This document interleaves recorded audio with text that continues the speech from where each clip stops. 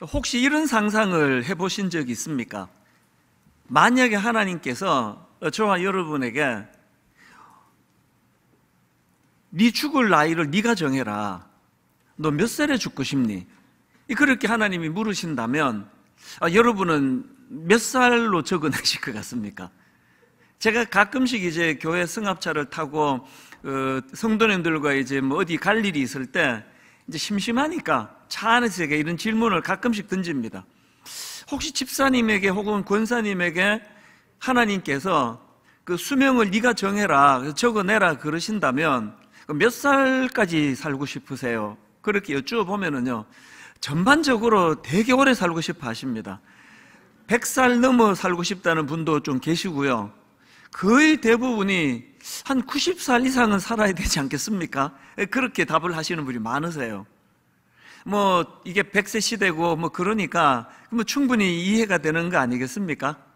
그러나 사실 저는 그렇지 않습니다 만약에 하나님이 저보고 이 목사 너 몇 살까지 살래? 네가 결정해라 그러신다면 글쎄 저는 은퇴하고 한 2, 3년 인생을 정리하고는 그렇게 하고는 하나님이 저를 불러 가셨으면 좋겠습니다 아니 뭐 이게 뭐 비관주의 이런 거 아니고요 저는 저에 대한 이 땅의 삶의 이해가 어떤가 하면 이 땅은 누리고 즐기는 것이 아니라고 생각을 합니다 이거 사명을 행하는 곳이거든요 전에도 한 말씀 드렸지만 저는 주한 하나님 나라 대사예요.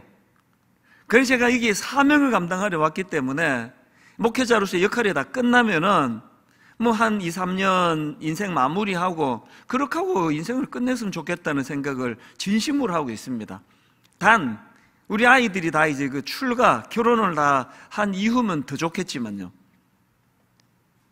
근데 요새 이 추세를 가만히 보니까 이게 뭐 점점 인생이 이게 수명이 길어지고 뭐 장수 시대고 또 저희 어머니도 지금 거의 100세 가까이 되시는데도 뭐 장수하시는 걸 보고 하니까 아 이게 저도 일찍 죽지는 않을 것 같다 이런 생각을 해요.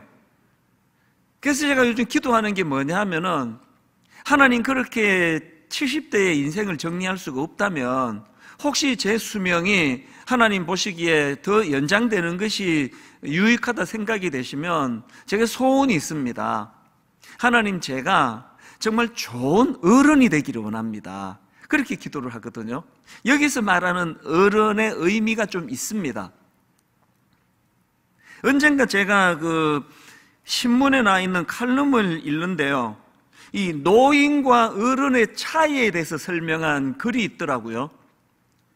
이제 그분이 이제 글을 쓰시는 분이 노인에 대해서 정의하기를 누가 노인이냐? 나이 들어 자기만 아는 사람. 또 주위 모든 사람이 자기 한 사람을 위해 존재한다고 생각하는 사람. 그러니까 이런 사람이 노인이고요. 여기에 반해서 어른은 어떤 분이냐? 나이가 들수록 남을 배려하고 또 타인을 위해 기꺼이 그늘이 되어주는 사람. 이런 사람이 어른이다. 아니, 그 칼럼을 쓰신 분이 본인 생각대로 이렇게 정리를 한 겁니다. 그래서 제가 호기심이 생겨서 또 국어사전을 찾아봤습니다.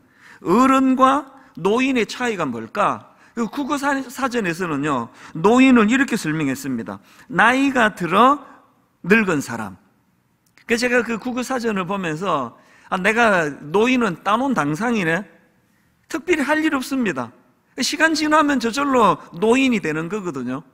그럼 여기에 반해서 어른은 어떤 사람인가? 국어 사전에서 이렇게 정의했습니다. 다 자란 사람 또는 다 자라서 자기 일에 책임을 질 수 있는 사람. 하나가 더 붙었더라고요. 저절로 시간이 가는 노인이 될 뿐만 아니라 다 자라서 자기 일에 책임을 지는 사람. 이 사람이 어른이라고 그렇게 정의하는 겁니다. 근데 여러분 저는요 이 국어 사전에다가 하나 더 덧붙이기 원합니다.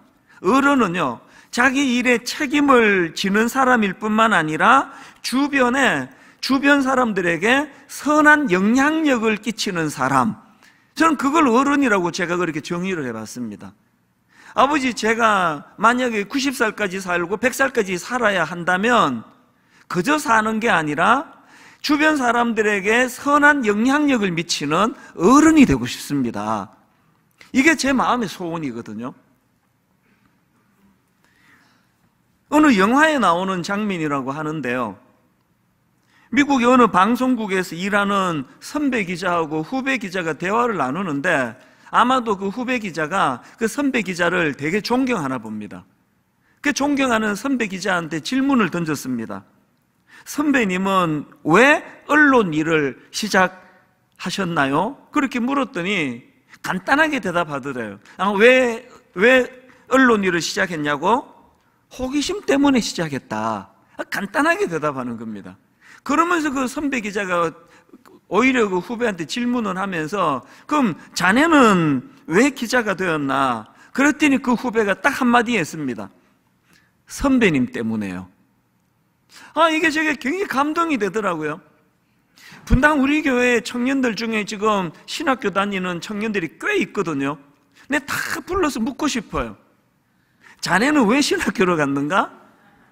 자네는 왜 신학교로 갔는가? 많은 그 신학생 중에 딱 한 명만이라도 목사님 때문에요. 그러니까 이런 평가를 제가 받을 수 있다면 저는 성공한 목회자를 생각하거든요. 근데 불행하게 지금까지 단 한 명도 없었습니다. 제가 왜 어른이 되고 싶다는 표현을 썼는지 아시겠죠? 어른은요, 맡은 일에 책임을 지는 사람일 뿐만 아니라 주변에 선한 영향력을 끼치는 사람이다. 오늘 이런 부분을 좀 이제 이런 주제를 가지고 말씀을 좀 살펴보려고 하는데요. 오늘 본문은 죽음이 임박한 아버지 다윗이 아들 솔로몬에게 유언한 내용이 담겨져 있는 말씀입니다. 삶의 마지막 순간에 아들 솔로몬에게 던지는 아버지 다윗의 그 참 권면의 말씀을 보면서 마음이 뭉클하고요. 아, 인생의 마지막에 어른은 이런 메시지를 남기고 그렇게 죽는구나. 되게 부러웠습니다. 그리고 아버지 저도 정말 다윗과 같은 그런 어른이 되어서 내 인생의 마지막에 내 자녀들에게 이런 어른다운 권면을 남기고 그렇게 이 땅을 끝낼 수 있기를 원합니다.